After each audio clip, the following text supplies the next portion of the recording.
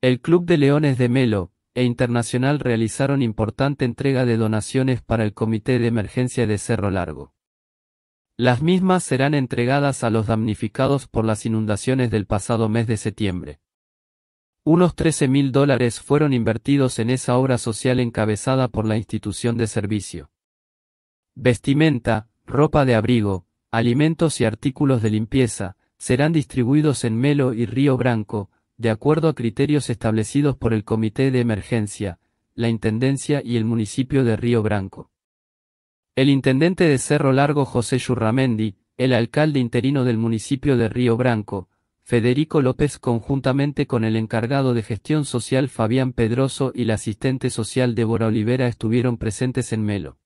Hoy con un objetivo de que las familias que se vieron afectadas puedan tener un retorno, puedan ir recomponiendo.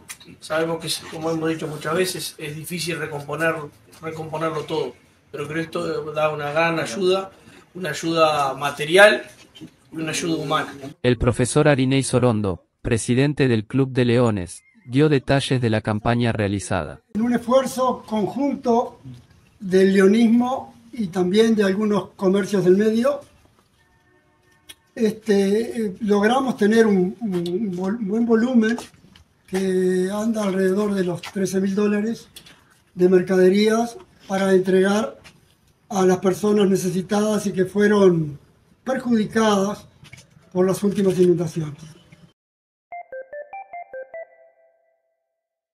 Continuarán las indagatorias, por el caso de usura perpetrada por ciudadanos colombianos residentes en Melo.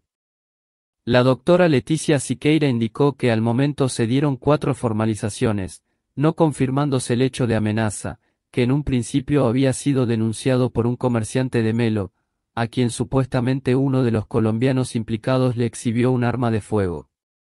La fiscal letrada explicó que en caso de ser penados, este delito a nivel de nuestro país es de los calificados como menores, con una pena mínima de seis meses. La titular de la Fiscalía Melense adelantó que por el momento, tienen conocimiento sobre unos 40 extranjeros que ofrecen estos préstamos conocidos como gota a gota. En esa línea, agregó que todas estas personas van a ser identificadas e indagadas por estos hechos. La representante del Ministerio Público aseguró que la investigación está en pleno curso, no descartando otro tipo de derivaciones. Siqueira expresó que en primera medida, y entendiendo que una pareja había sido engañada con que viajaban a nuestro país con otro fin y no el de los préstamos, resolvieron y acordaron su regreso a Colombia.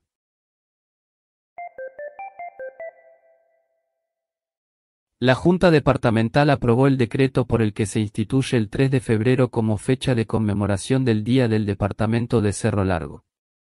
La norma ahora deberá ser promulgada por la Intendencia y seguirá su proceso administrativo en el Parlamento Nacional. Una ley debe ser redactada y aprobada, recogiendo esa iniciativa.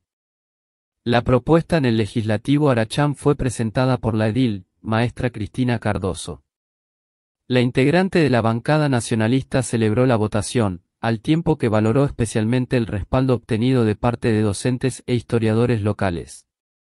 Cardoso, aclaró que el objetivo no es quitar relevancia al 27 de junio, como fecha de fundación de Melo.